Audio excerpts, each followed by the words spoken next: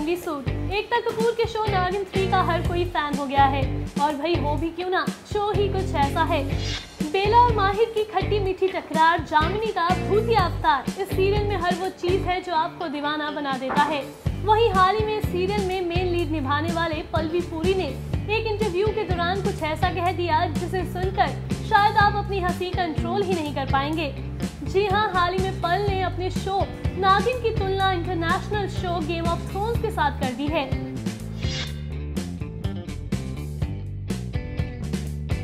दरअसल हाल ही में एक इंटरव्यू के दौरान पल ने कहा कि नागिन अपनी कहानी कहने में कठोर और दृढ़ है। इसकी तुलना अंतर्राष्ट्रीय TV show games of throne से की जा सकती है। इतना ही नहीं इसके बाद जब पल से पूछा गया कि वो नागिन जैसे शो के कॉन्सेप्ट पर यकीन करते हैं तो उन्होंने कहा एकता मैम के शो के कंटेंट को समझने की काबिलियत लाजवाब है। उनके शो का हिस्सा होना गर्व की बात है। मैंने असली ज़िंदगी में नागिन नहीं देखी है, लेकिन मैंने कुछ अजीब सुपर चीज़ें महसूस की हैं। जब मैं सात साल का बच्चा था, मैंने अपने करीब भूत महसूस किया था। सब कुछ होता है, ये आपके विश्वास पर निर्भर करता है।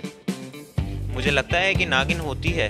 अगर किसी को भगवान में विश्वास है तो फिर शैतान भी ज़रूर होगा। तो देखा वैसे पल बाकी सब तो ठीक है, लेकिन इतने बड़े शो के साथ तुलना करना कुछ हजम नहीं हुआ। वैसे आपको क्या लगता है नागिन थ्री की गेम ऑफ़ थ्रोन्स के साथ तुलना होना सही है या नहीं? हमें कमेंट करके ज़रूर बताएँ।